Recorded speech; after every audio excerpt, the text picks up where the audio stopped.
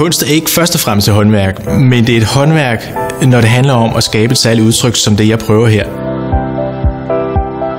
Og min inspiration til det her værk kommer fra gåtur gennem Berlins forstadsmiljø og de betonboligkomplekser, man ser der.